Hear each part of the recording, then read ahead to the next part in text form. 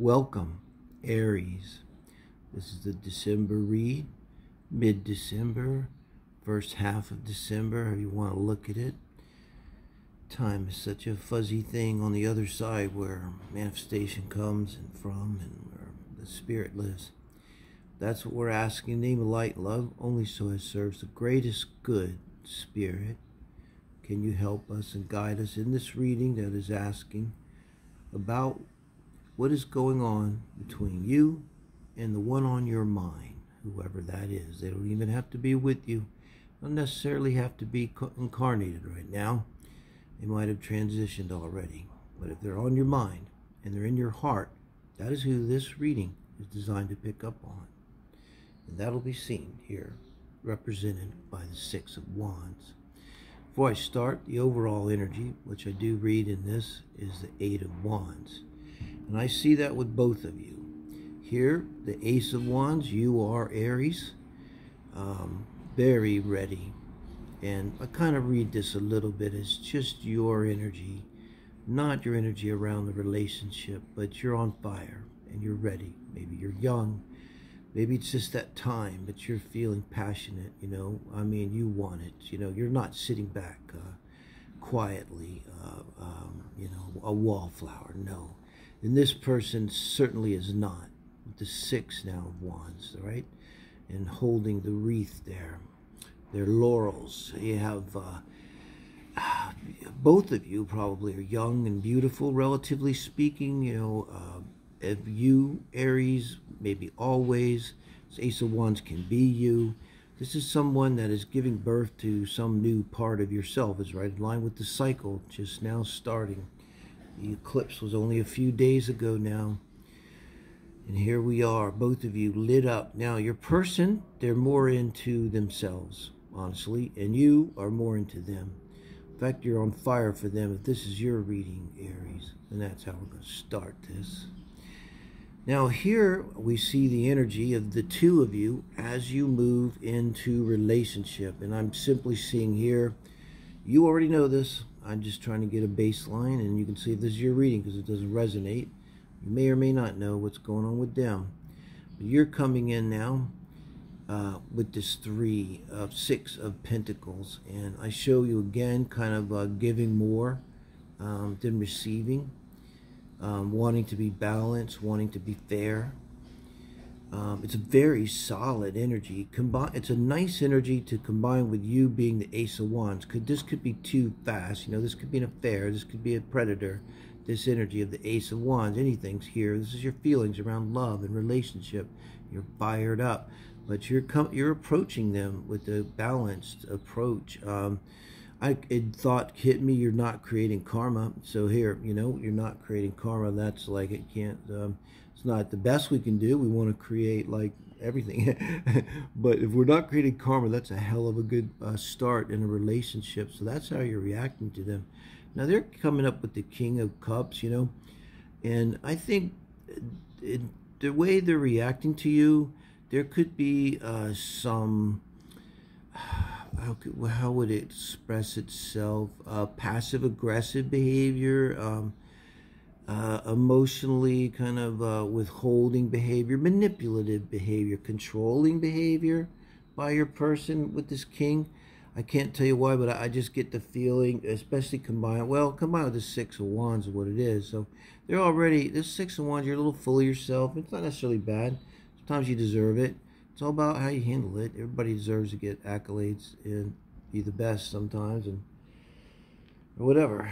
Um, but um, so emotionally, I get the feeling like you're basically you're coming. We're both coming on strong. This had to be kapow, right? I get it.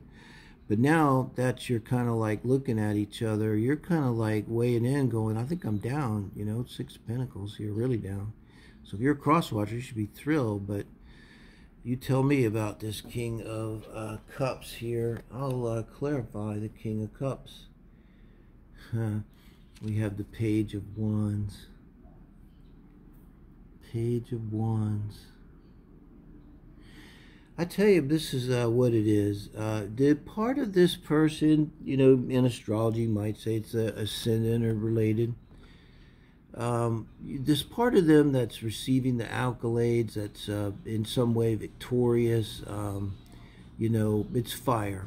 And here you have the page of fire. The reason kind of what's putting me off about this, I'm not making a judgment, I'm just saying it's your reading your Aries. It's important that you know. This person is not really mature you know but i mean they have it in them we all do right they may have some water i think with this points too maybe they have a water moon um, you know, maybe it's not the sun. Maybe they got a, a fire sign, your person. Okay, we could just say that. And so there's this balance within them, and that they maybe could find. But I feel like there's this just this immaturity, and it's kind of related to. It's honestly just would be the sexual tension that you immediately felt with this person. This would have been boom, immediate. You know, uh, uh, you're feeling it. So then we move down here to the position of advice from spirit for you being the star. That's your advice, Aries. And for your person, it's the two of wands. Very interesting for your person. So many wands, especially with that clarification coming in, even after I put this down. So with this being the position for you of could be Aquarius in your chart with the star, but this is a spirit advising you how best to proceed or interact or engage or perceive this relationship with your person here, represented by the Six of Wands to start. So it's hopes and dreams and wishes. It's very positive. I I, I got to go with this. I think it's trying to say that if you really look deep down at this relationship, that this is what you're looking for. This is what you're meant to find, Aries.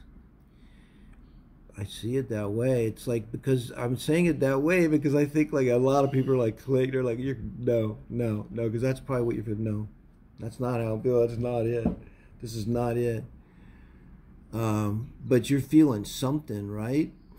um, and maybe there's just a little bit of want to holding yourself, want to hold yourself back, and that's why I think you're getting the star because this is advice from spirit, and they're kind of saying like, don't look at that pick, don't hold back.